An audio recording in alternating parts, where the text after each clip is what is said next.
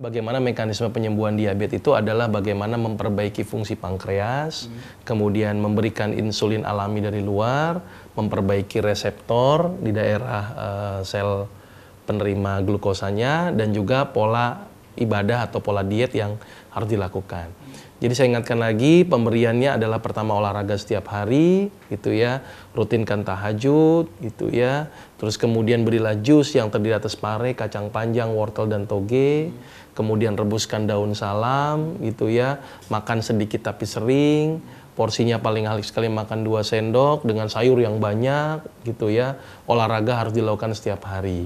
Bagaimana untuk penderita penyakit yang sudah mengalami asam urat? Jangan kacang panjang, tapi cari selain kacang panjang, jadi daun salamnya saja. Terus parenya bagaimana? Cari pare yang berwarna putih gitu ya. Jadi bisa disubstitusi gitu ya. Terus pada orang diabetes bikin gatal betul. Nah, dia akan menghilang ketika gulanya sudah mulai membaik. Itu adalah proses neuropati gitu ya. Nanti kalau sudah membaik dalam jangka waktu yang saya bilang pada waktu pertemuan yang lalu adalah kurang lebih selama satu tahun, nanti neuropatinya akan uh, kembali seperti biasa. Kira-kira seperti itu.